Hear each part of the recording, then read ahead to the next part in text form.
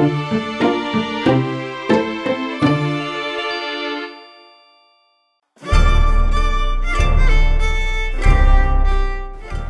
Jackalope of the Amateur Sleuth blog. Everyone who pre-ordered Nancy Drew's Sea of Darkness from herinteractive.com during the pre-order period was entered for a chance to win two round-trip coach tickets to Reykjavik, Iceland. And now that pre-orders have ended, it's time to randomly pick our lucky winner. No, no.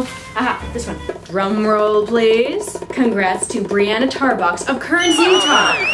Brianna, we will reach out to you soon so you can start planning your Icelandic adventure. Thank you so much for pre-ordering and for supporting Her Interactive. Until next time, stay sleuthy.